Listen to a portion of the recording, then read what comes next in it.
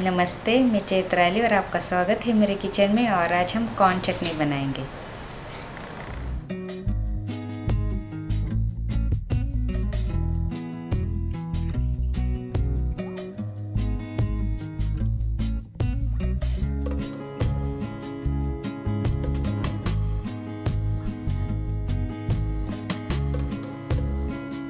एक कटोरी sweet corn, एक टमाटर लिया है हमने, हरी मिर्च।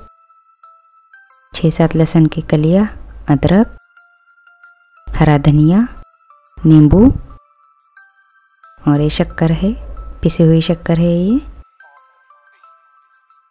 अब हम इसको मिक्सर में पीस लेते इस स्वीट कॉर्न के दाने हैं। अब हम उसमें टमाटर डाल लेते हैं। बहुत ही फटाफट से बन जाती है चटनी और खाने में भी बहुत स्वादिष्ट लगती है। अब ज़रूर बना कर देखिए।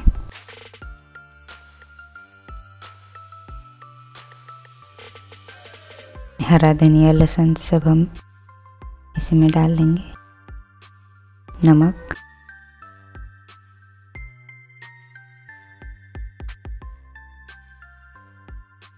पिसी हुई शक्कर और नींबू भी उसी में हम निचोड़ देंगे। ये आधा नींबू डाल दिया है मैंने इसमें।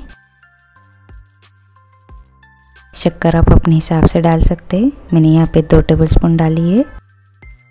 ये हमारी स्वीट कॉर्न चटनी बनकर तैयार है।